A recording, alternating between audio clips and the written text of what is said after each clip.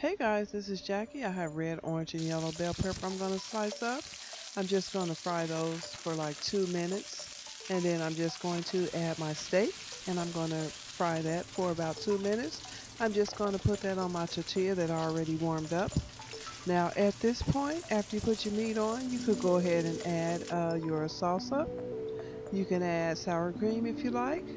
You can also add jalapeno peppers and you can add any kind of cheese that you want on there and then you could go ahead and eat.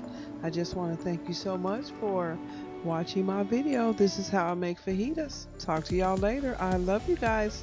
Bye. Happy eating.